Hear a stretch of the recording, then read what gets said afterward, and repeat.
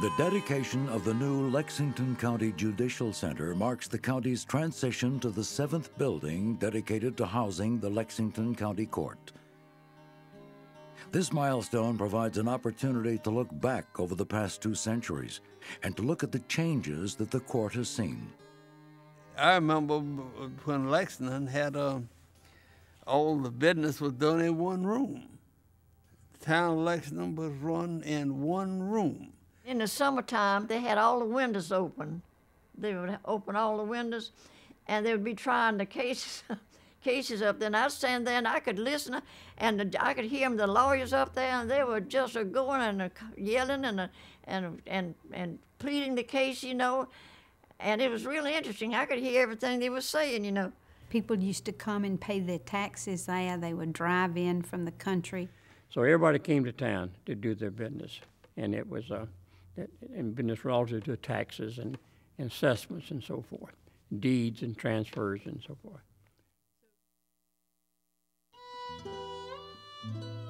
In the early 1800s, soaring prices for cotton were providing prosperous times for farmers in South Carolina. The rich river basin lands along the Saluda and Congaree rivers provided fertile soil for the cash crop. From the very beginning, the Lexington County Courthouse has served as a focal point for the county.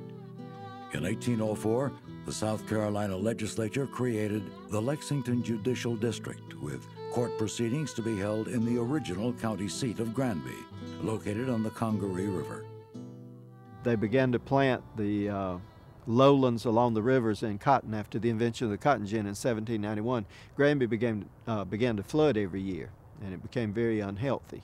And that was the main reason that they chose to move the seat of the court uh, to a more central location, the very center of the district. And that was here where Lexington is today. When the county seat was relocated from Granby in 1820, the new town of Lexington Courthouse was established at 12 Mile Creek. During this time, the local agricultural system was maturing, spurred by the flourishing city of Columbia. By 1822, the town of Granby, which had once been larger and more prosperous than Columbia, was a deserted village, largely due to frequent flooding and mosquito infestation. The new county seat was established on land that was originally part of the Corley Plantation. Barbara Granny Corley sold the land for the new courthouse to be built, and soon began selling lots for the establishment of the dwellings and businesses that sprang up in the new town. She was, uh, uh, of course, a great great grandmother of some of our family, and just about it, it hit just about every family in Lexington. I think just about at that time, about everybody uh, had were closely related to Granny Corley. They bought uh, several acres of land from Granny Corley, Annie, Anna Barbara Drafts Derrick Corley, and uh, established the courthouse and the jail in 1819. It opened in 1820. Barbara Corley uh, sold uh, the land for the courthouse and the jail to, to the county, I think, for $200. She was the widow of Lawrence Corley. He had obtained it on a land grant from the King of England. And uh, oh, we still have the wax seal right here. This is the only thing that, that we have left. Uh, the charter had deteriorated, but the wax seal is still here. Very little is known about the second courthouse that served the people of Lexington County. Built in 1820, there is evidence that it was in use by 1822 and continued to be the county seat of justice until a handsome new two story courthouse was opened in 1839. By mid century, Lexington was a well established community of businesses, schools, farms, and churches. But this quiet prosperity was soon to be shattered by the approaching civil unrest. When the Union Army under Sherman arrived in Lexington during the final months of the war, a swath of destruction lay behind it. Between Savannah and Columbia, many courthouses, churches, and homes of staunch Confederates had been put to the fire, and the Lexington County Courthouse was soon to burn as well. I think it was February of 1865. Uh, the family uh, lived here. Judge Boozer, that's his picture right up there. He owned the house. Somebody knocked on the door, so Judge Boozer went to the door. And when he went to the door, there were three officers there of Sherman's officers General uh, Kilpatrick, General Slocum, and Captain Cummings. And they had each one of them had a gun. And they said, We have uh, 6,000 soldiers encamped on the outskirts of Lexington and said we were going to be here for uh, several days and nights and said we have decided that we want this home we're going this is our headquarters and if anyone objects they will be shot. And so at that time uh, judge boozer says well come in. He had no choice. One of the reasons that has been given for the burning of the courthouse in the town of lexington is the fact that uh, the Union Army had gone down toward Aiken to burn the Graniteville Mills. A branch of General Sherman's army had gone down there, and they got uh, defeated at Aiken. So when they came back up here to Lexington, they were mad because they had been defeated, and so they burned much of the town, including the Lutheran church and most of the businesses and homes along Main Street.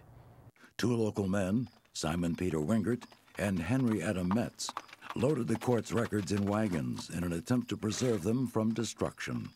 They went in separate directions, supposedly, according to local uh, lore. We don't know which one was caught, but one of them was caught, and the records were destroyed, and the other one was able to get away with his records.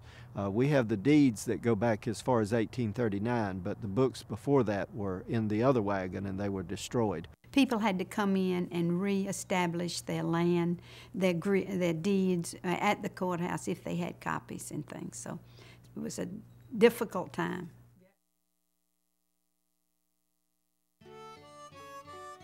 Emerging from the devastation left by the war, the slow process of rebuilding life in Lexington began.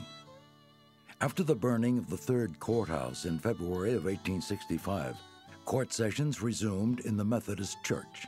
Eventually, a temporary court haphazardly constructed of hewn logs and weatherboard was completed in 1866.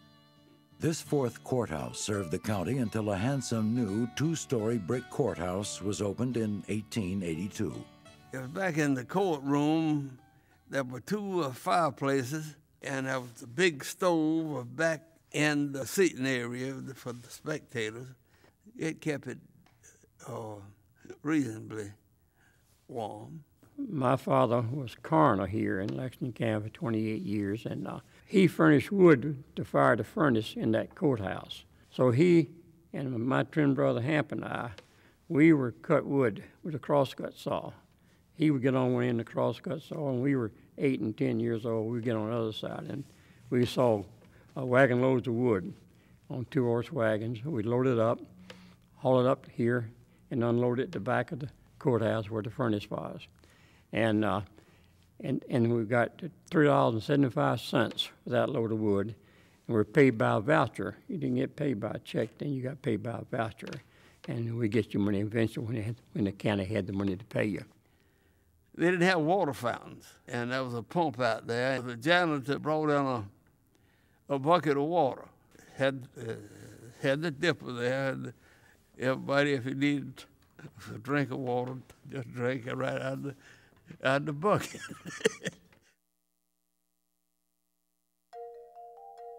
The 1880s brought industrialization into full swing with the establishment of textile mills in Lexington, Columbia, and surrounding areas. The American Railroad crisscrossed the entire country, opening new channels of trade for farmers and merchants alike. That resulted in a lot of these small towns being developed in the county that were mainly uh, fuel and water stops for the railroad. Lexington's one of the few towns that never grew toward the railroad, however, the town of Lexington. Uh, they established a, a, little community out next to the railroad that we've always called the depot. And it was quite a situation to have to haul the freight back and forth out to the railroad station. But the town of Lexington always stayed right along Main Street. Soon, the original name, Lexington Courthouse, was changed to Lexington the news media was flourishing, and a variety of newspapers kept citizens informed about local and national events. The old brick courthouse, the fifth, saw one of the most widely publicized trials in the history of Lexington County the 1903 trial of South Carolina's Lieutenant Governor James H. Tillman for the murder of N.G. Gonzales in front of the state capitol steps in Columbia. The Gonzales family began the state paper, and they say it was to combat Tillmanism. Tillman thought that Gonzales had just ruined any chance he had of higher political office. Gonzales had the pen, you know, he could he could say what he wanted to. He was found not guilty. That people saw him and he had witnesses, but he escaped the hangman's noose on that occasion.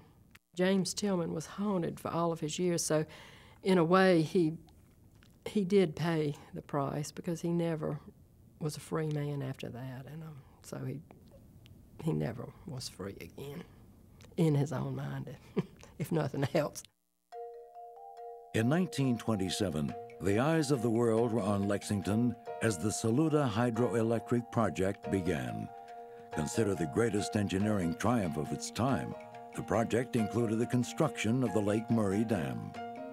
It was started in the midst of the Depression. When it was completed, which was in September of 1930, it was the largest artificial uh, water reservoir in the United States, 50,000 acres. It was also the longest earthen dam in the United States. It was quite a feat. Even with various additions to the courthouse, by the mid 1930s it had become clear that a new facility was needed, and funding was eventually provided by the South Carolina legislature. Columbia architect J. Carroll Johnson was retained to design the new courthouse, and construction began late in 1938. I remember well, the basement was dug out with mules. It was dug out with mules. I remember very well when the plans were made for the courthouse, and during the construction, we came up here frequently. And the sand from this courthouse was mined on my aunt's property, Mr. Tom Hook, who was a road contractor. He mined the sand and hauled it up here to, to for the concrete in this courthouse. The new courthouse was dedicated on January 15, 1940. The ceremony was timed to coincide with a parade and celebrations of the 200th anniversary of the settlement of Lexington County. It was an eye opener for, for all us country people uh, with the terrazzo floors and so on. The parade was the big thing. I'd never seen majorettes before, but they were really stepping for its time, it was a, a very modern building. And considering the, uh, the poverty of the state at that time, it's remarkable that the county of Lexington built a nice courthouse like that. Just two years later, the Lexington Courthouse would be the site for one of the most significant trials in the state's history, the Logue Timmerman trial, which led to death sentences for Sue Logue and two co-defendants. Sue Logue became the first woman executed in South Carolina's electric chair. The murder occurred in uh, the Meeting Street community of Edgefield, where um, Wallace Logue was murdered by Davis Timmerman, and Sue vowed to seek revenge on him, and she hired uh, a man from Spartanburg, uh, Clarence Bagwell, and she enlisted her, some of her relatives, George uh, Logue and Joe Frank Logue. And um, it ended in the murder of several people, including the sheriff of Edgefield and his deputy, in a shootout at the Logue house in the Meeting Street community. But when the trial came to Lexington, Sue Logue and George Logue and Clarence Bagwell were given the death sentence. The 64 years that have passed since that day in early 1940 have brought profound changes to the world and to Lexington County. The interstate highway system brought with it new access, new industry, and new jobs. Population growth, economic efforts, and a dedication to progress brought many changes to Lexington. The new Lexington County Judicial Center reflects those changes, but it also represents continuity and the enduring importance of the Lexington County Court to the people and to the county with the expanded population of the county, uh, it was a must uh, to have more courtrooms and more judges and just more accommodations to carry on justice. It's going to be a, a focal point for continued growth, and it's, it's located in, in the right place. We're entering into a new era of judicial excellence in Lexington, and everyone should be very happy and proud to be a Lexingtonian. I hadn't seen anywhere else I'd rather be, and so I'm pretty well uh, rooted here in Lexington County.